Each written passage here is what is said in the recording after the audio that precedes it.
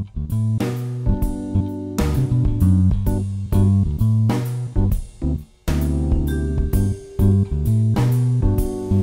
at this spoiled beast. Yeah, that is a spoiled beast. That is also an electric bed. It's heated. Heated.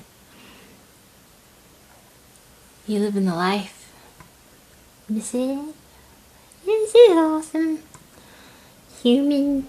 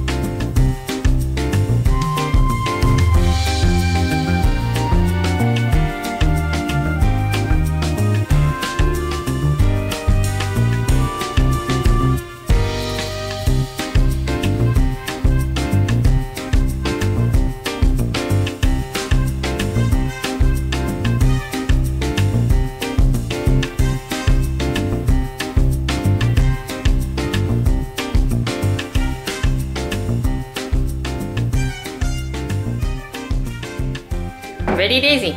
Ready for dinner? We're having Lard Na.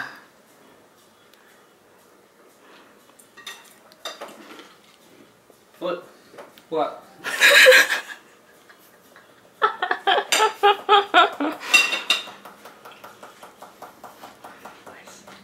How's it taste? Pretty good. I uh, I overloaded every single plate so we wouldn't have any leftovers. What? No, you can't say no. Sorry, Dessy. Stand.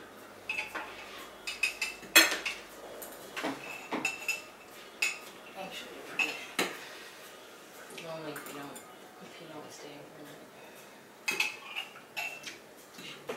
Too much. Uh, the holes are too big What, uh, on the pepper thing. yeah, I made a giant patch of pepper also. I put the giant patch pepper on his plate.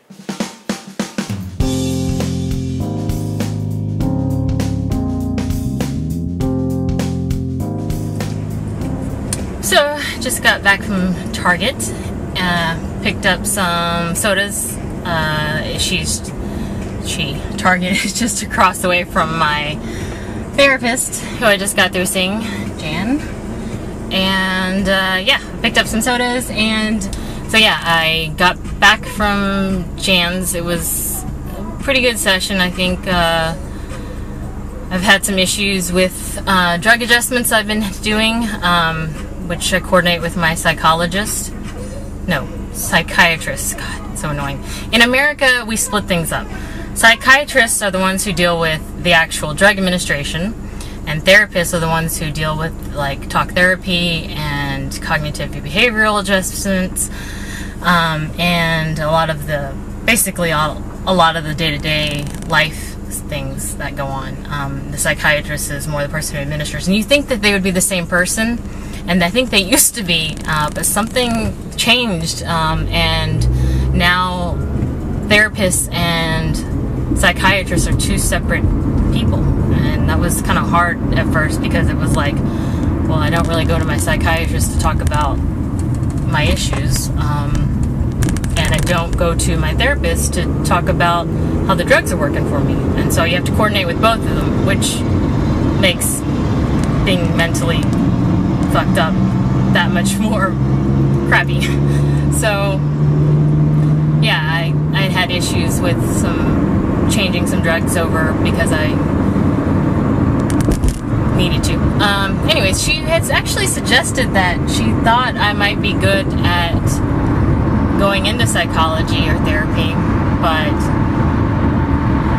she has a great love for people that I don't think I have. Uh, I can definitely relate to people, have a lot of intuition about people, but there's a reason I don't have a lot of friends.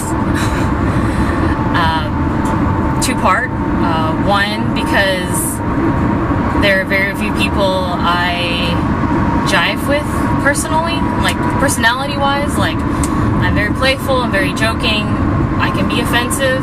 I'm usually joking when I'm offensive. Uh, I talk about people's moms a lot. Um, or, you know, I make your mom jokes a lot. And it can get really obnoxious because I can get real dirty about it.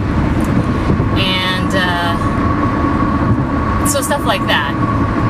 In addition to another part where I think I just I don't know, I'm I'm not that interesting a person, I guess, um, for other people. Uh, people do tend to just fall out of like with me. Uh, I, I notice this with friendships, and as Ixa says, it's probably the nature of online friendships, actually, which, sure, I, I've noticed that. Uh, there can be things where we will just fundamentally disagree on things and things just don't work out, or things just don't work out, and I don't know what we fundamentally disagreed on because everyone's so polite online most of the time.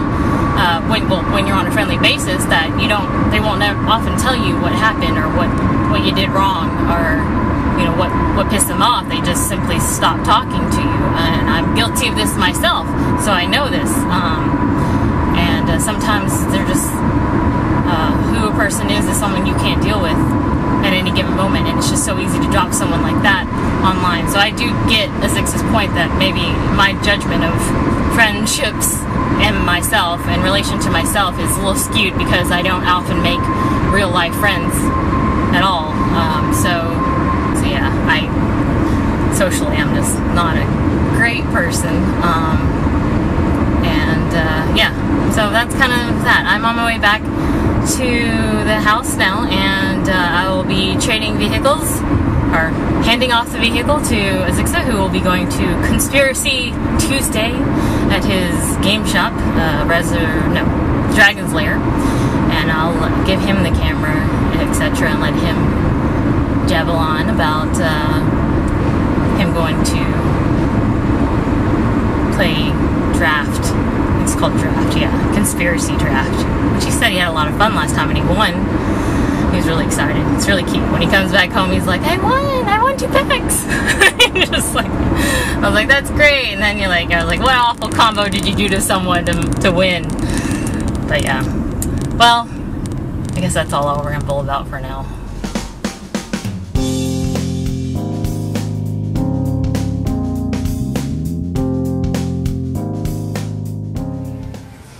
Hey everyone, this is Azyxa. I'm at Dragon's Lair and I'm um, gonna play in a Magic the Gathering draft tournament here pretty soon. Maybe like an hour or so and usually people come early and play some Commander so I'm gonna go see if anyone's playing right now. I will uh, see you guys later. Um, maybe I'll let you know how I do afterwards and get some footage of the store. Bye for now.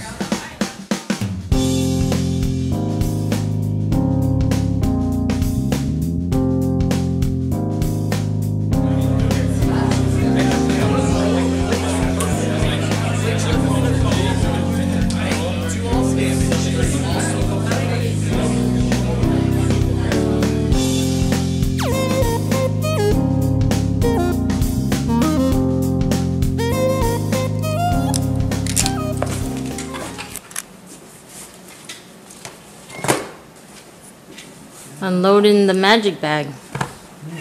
How was your game? It was fun. I picked a very interesting card that did crazy stuff. I can show you my conspiracies. Here's one. Yeah, the one conspiracy I picked, which completely changes your game.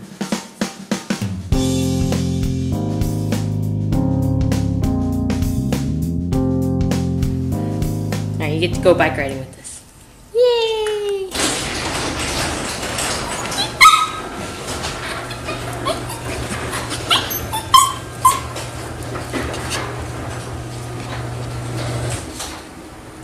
So it turns out we have to take turns riding a bike because my bike is super flat or the tire is, and the tube is completely busted in it.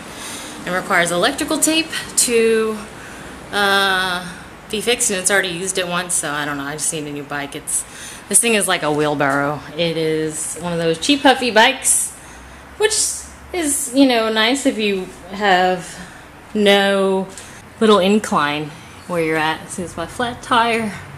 But this thing is like 60 pounds. It's like, it's a honking piece of metal. So, time for a new bike.